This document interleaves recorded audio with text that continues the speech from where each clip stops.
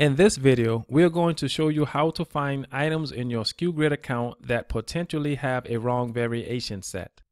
This is a very important topic because if you enter a variation incorrectly, SKUGrid will put the item out of stock since the variation you entered does not exist. Once you are logged into SKUGrid, you are automatically placed on the My Items page.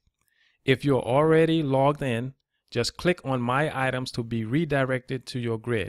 In the second set of filters on the page, select Incorrect Variation Name from the drop-down menu. SKUGrid will filter and display all items where it is very likely that the variation has been entered incorrectly. Under the variation names that you have entered, you will see a link that says Show All. Click the Show All link.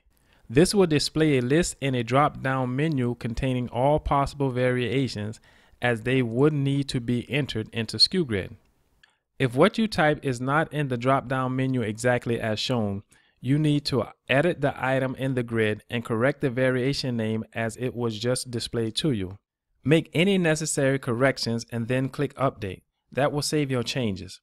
Once the item's variations have been confirmed to be correct, you can click on Force Reprice to force reprice the item. Thanks for watching. We'll see you in the next video.